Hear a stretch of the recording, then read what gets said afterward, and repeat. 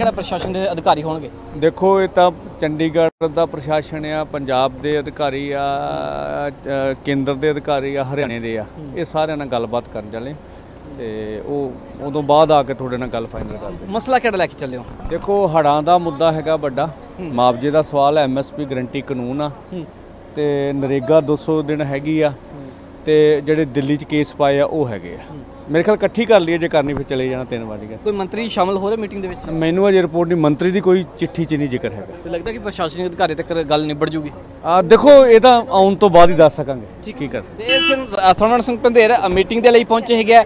ਪ੍ਰਸ਼ਾਸਨਿਕ ਅਧਿਕਾਰੀਆਂ ਦੇ ਨਾਲ ਮੀਟਿੰਗ ਹੈਗੀ ਹੈ। ਚੰਡੀਗੜ੍ਹ ਦੇ ਪ੍ਰਸ਼ਾਸਨਿਕ ਅਧਿਕਾਰੀ ਹੈਗੇ ਪੰਜਾਬ ਦੇ ਪ੍ਰਸ਼ਾਸਨਿਕ ਅਧਿਕਾਰੀ ਹੜ੍ਹਾਂ ਦਾ ਮਸਲਾ ਹੋਰ ਬਹੁਤ ਸਾਰੇ ਮਸਲੇ ਹੈਗੇ ਆ ਕੇਸਸ ਨੂੰ ਲੈ ਕੇ ਹੈਗਾ। ਤੇ ਥੋੜੀ ਦੇਰ ਦੇ ਵਿੱਚ ਗੱਲਬਾਤ ਜਿਹੜੀ ਸਰਕਾਰ ਦੇ ਨਾਲ ਸ਼ੁਰੂ ਹੋਊਗੀ।